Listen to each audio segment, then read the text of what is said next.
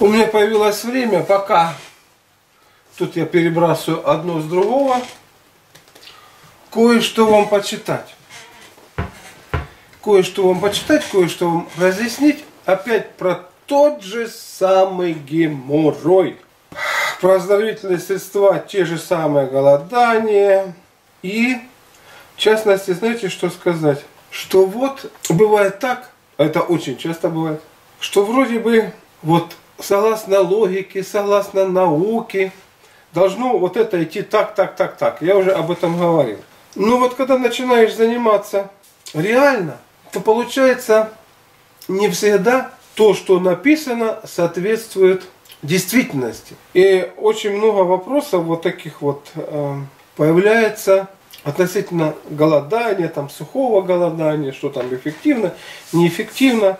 Ну и вот мне пришел такой вот, такой вот письмецо. Пишет его, значит, Мухаммед Али. Сухое голодание должно было решить эту проблему с раной. То есть речь идет о том, что, о том, что я рассказывал про голод Нины, что после того, как э, человек, значит, поголодал, у нее появилась такая проблема, как геморрой и еще ранка. И знаете, вот я как раз описал этот процесс, и хорошо, что его, как бы сказать, вот представил и вам, и вам рассказал, как, из-за чего это получилось.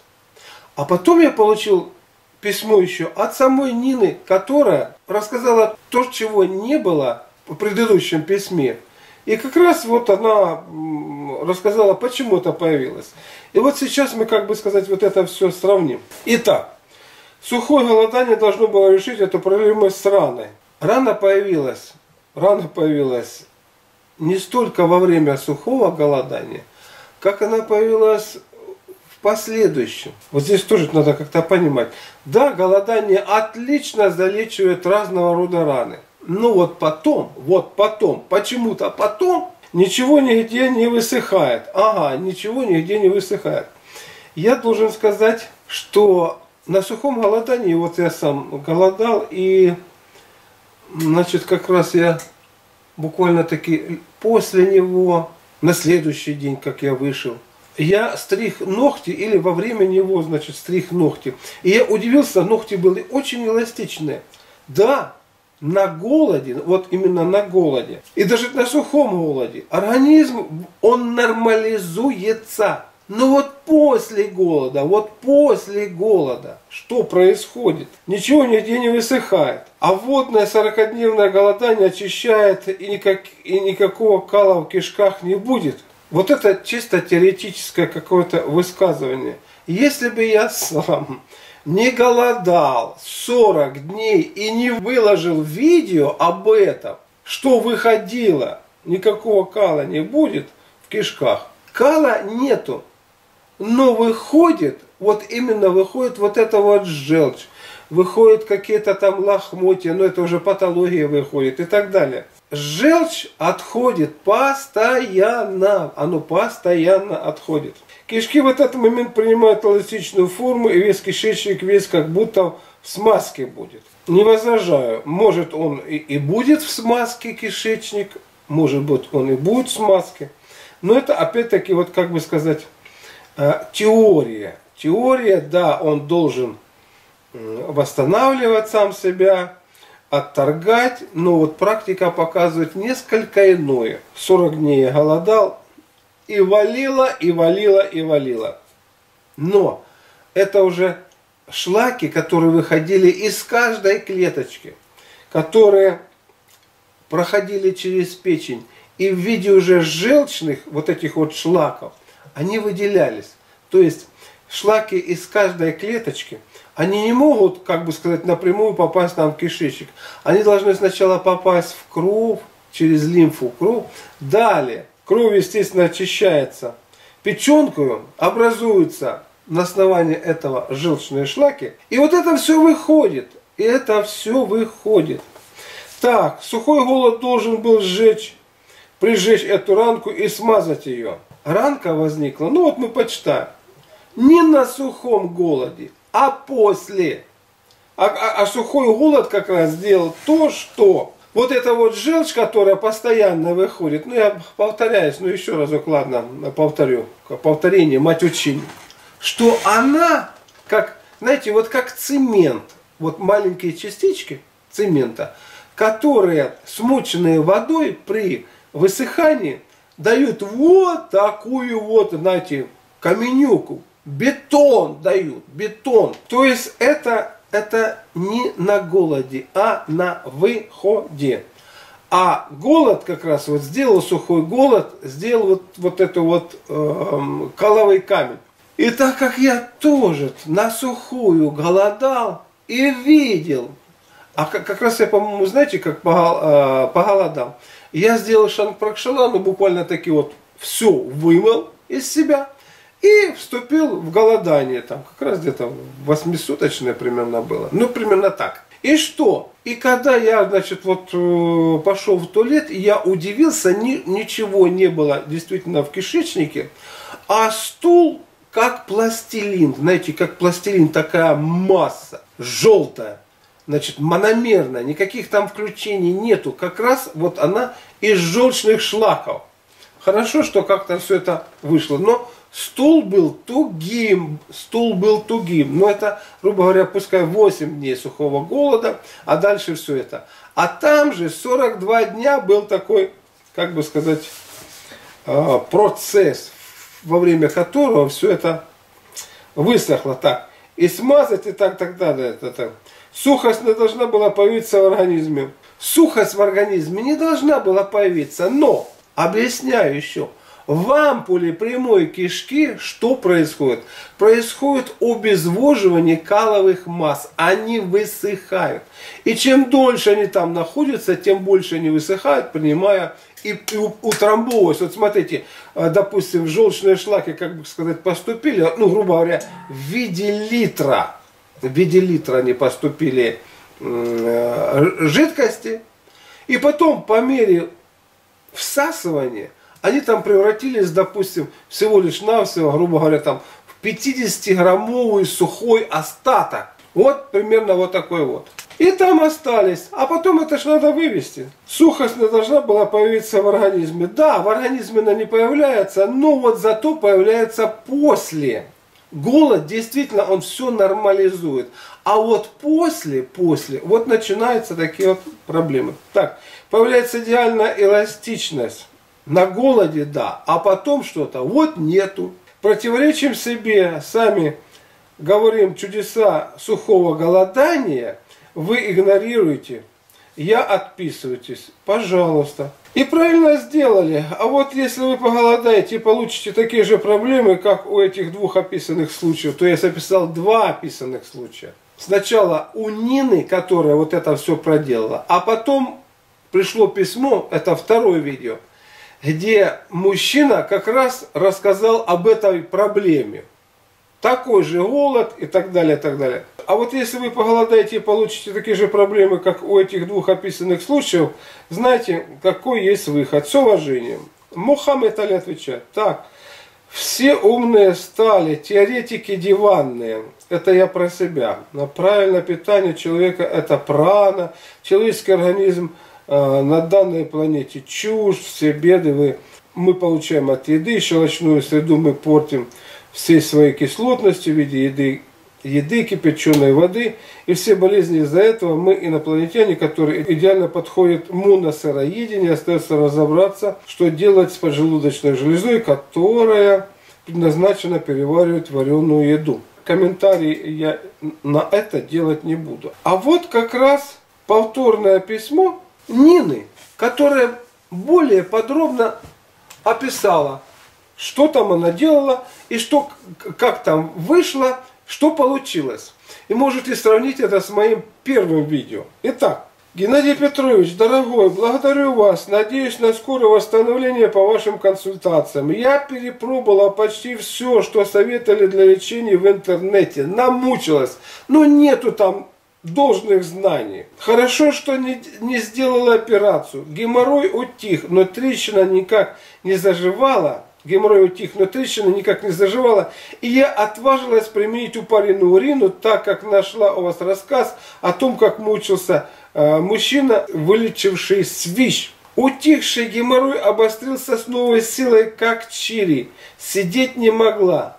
То есть, вот именно у Упалина урина своей сухостью активировала все это. Да, вот трещина могла пройти, а геморрой наоборот мог. Но так как произошло вот это все это воспаление, там, грубо говоря, новые трещины могли появиться. Ну, ну давайте, ладно, читаем дальше. Сейчас легче, делаю все, как вы сказали. То есть вот эти простые рекомендации, как я сказал, сейчас легче делаю все, как вы сказали. Печень и кишечник чистила регулярно по вашим книгам целительной силы на протяжении 30 лет и почистила перед голоданием. А теперь вот, вот, вот на это обращаем внимание. Что я говорил и что было на самом деле.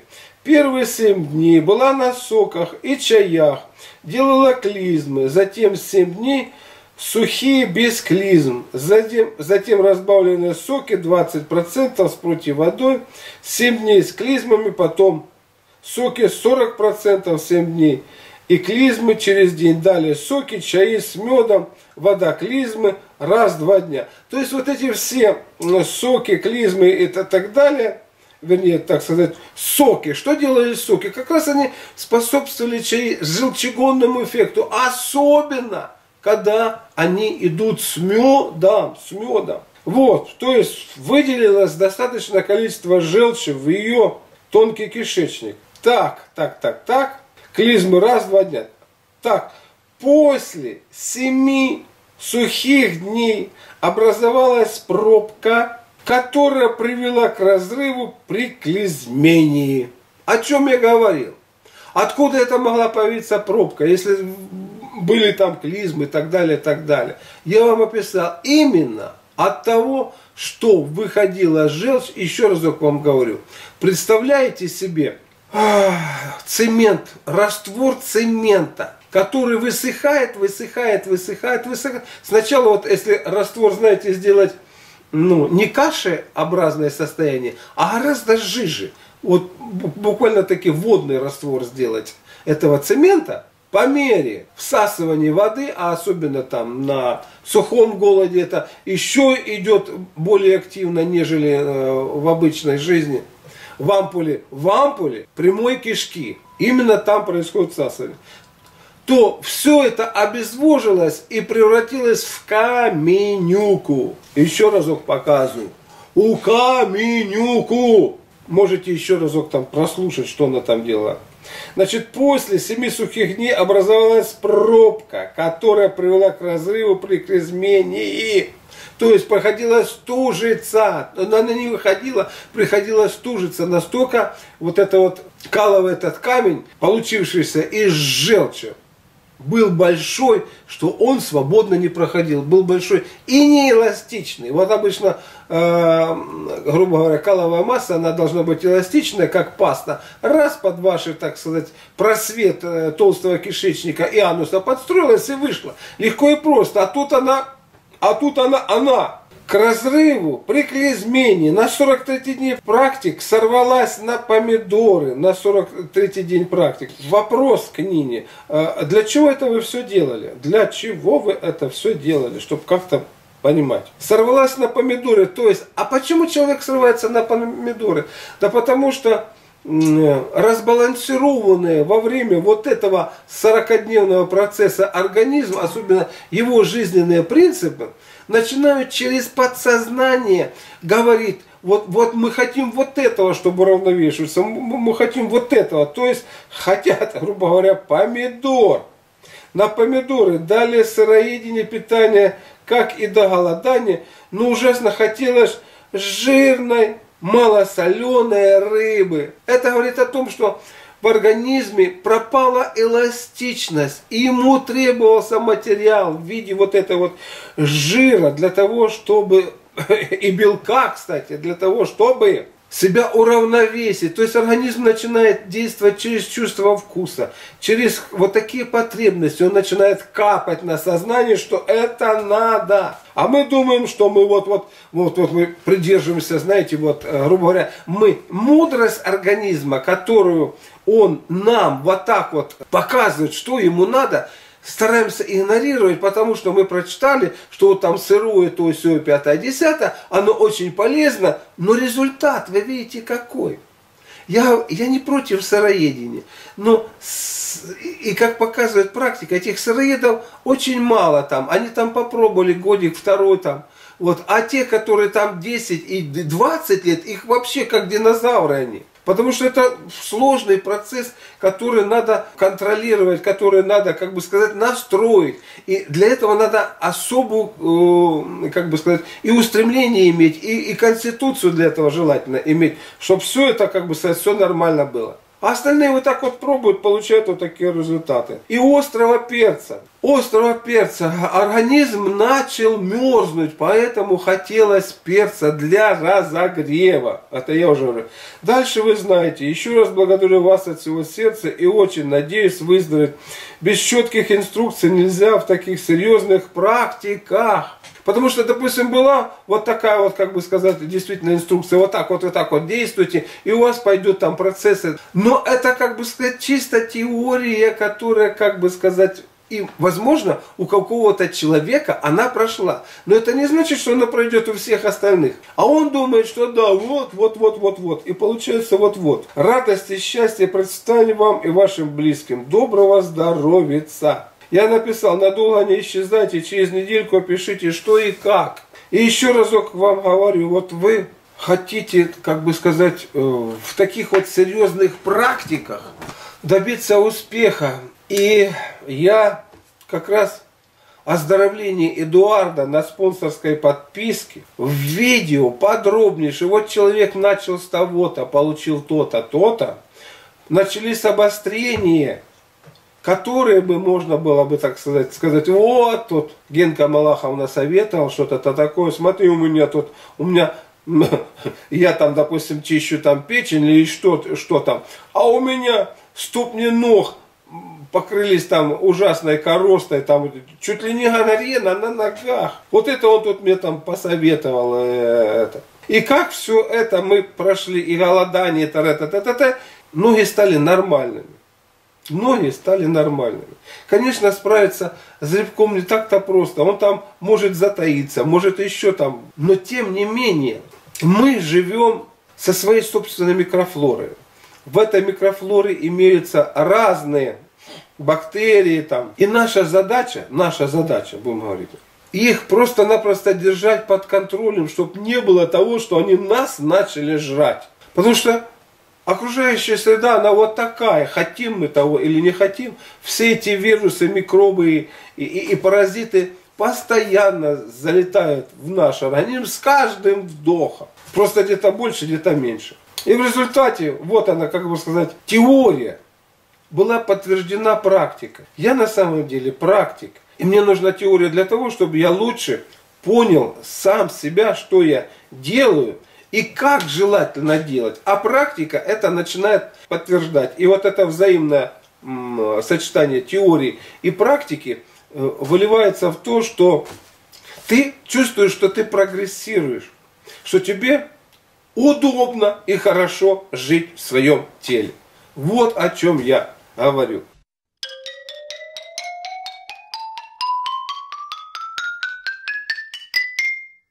Ну и наконец хочу заметить. Вот знаете, YouTube со своими алгоритмами дело, конечно, хорошее. Хорошее там. Поднимает, опускает. Но, как показывает практика, это большая площадка для того, чтобы установить на нем, на ней павильончики и торговать. И с этой площадки, от этих павильончиков идет прибыль. И наплевать, что там вы там несете, о чем там говорите, что там показываете, главная прибыль. И если вот этот павильончик, то бишь канал, не приносит прибыли, значит, на него просто-напросто перестают обращать внимание, И думаю, да когда ж он тут сдохнет, чтобы он это место там не занимал, ресурсы не занимал.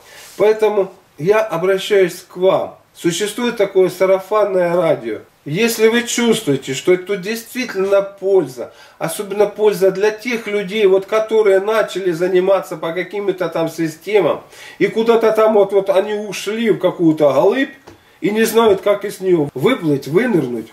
Вот я еще, пока я живой, и я могу сообразить, что с вами произошло, и как это ликвидировать. Рассказывайте об этом при случае там, своим знакомым. Один говорит, я там занимаюсь тем-то, тем-то, тем-то.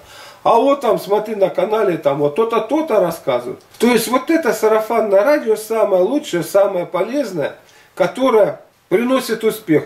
А все остальное там умудряются люди, знаете, накрутить или еще. То есть используются разные технологии, которые на самом деле с реальностью, с полезностью никак не связаны. Они связаны с тем, чтобы за счет накрутки пошла больше рекламы и ему, значит, капнул там свой процент. Рассказывайте о канале. Вообще это уникальное явление, когда вот я с вами сижу и, и делюсь вот этими знаниями, рассказываю э, рассказываю не просто там, что вы там заболели, какой вам там рецепт дать, а рассказываю о том, почему вы заболели, почему. Зная уже это, уже можно отбросить причины, выздороветь. И как из этого выйти? И как из этого выйти?